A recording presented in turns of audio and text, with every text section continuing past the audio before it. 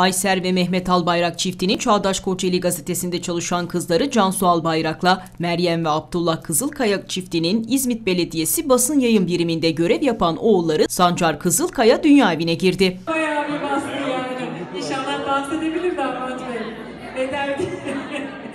Evet peki. Seka Park'ta bulunan bir düğün salonunda gerçekleşen törene İzmit Belediye Başkanı Fatma Kaplan Hürriyet, Büyükşehir Belediyesi Koordinatörü Hasan Ayaz, Demokrat Parti İl Başkanı Mustafa Nazlıgül, Memleket Partisi İl Başkanı Murat Erinç, Körfez İlçe Başkanı Şuayip Yağar, CHP İl Kadın Kolları Başkanı Songül Kaya, MHP Derince İlçe Başkanı Salim Sayar, Kocaeli Gazeteciler Cemiyeti Başkanı Cemal Kaplan, Kocaeli Milli Kuruluşlar Birliği Başkanı Yücel Alpay Demir, eşi Sibel Demir, basın camiası, Albayrak ve Kızılkaya ailelerinin dost ve akrabaları katıldı.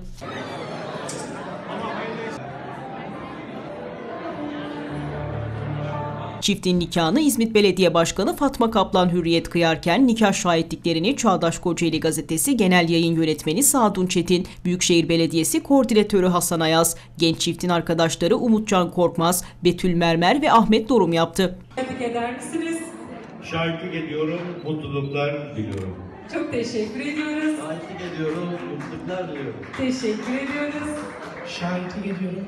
Mutluluklar diliyorum. Başkan Hürriyet dilek ve temennilerin ardından nikah cüzdanını genç çifte takdim etmesi için Kocaeli Büyükşehir Belediyesi Koordinatörü Hasan Ayaz'a uzattı. Hasan Ayaz da Çağdaş Kocaeli Gazetesi Genel Yayın Yönetmeni Sadun Çetin'le birlikte genç çifte mutluluklar dileyerek evlilik cüzdanını takdim etti. Biz de TV41 ailesi olarak meslektaşlarımız Cansu Sancar Kızılkaya çiftine bir ömür boyu mutluluklar diliyoruz. uzaktım ve sevgiler